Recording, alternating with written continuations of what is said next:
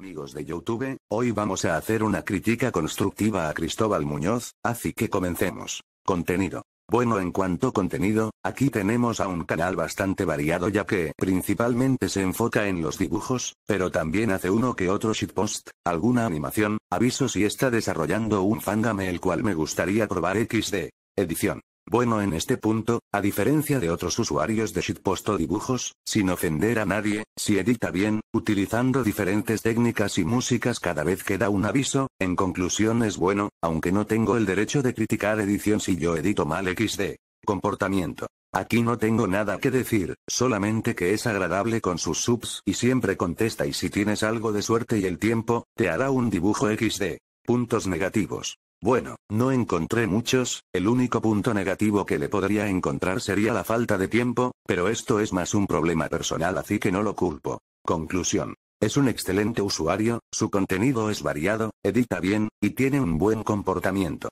Bueno, la entre comillas crítica llegó a su fin, buena suerte y saludos.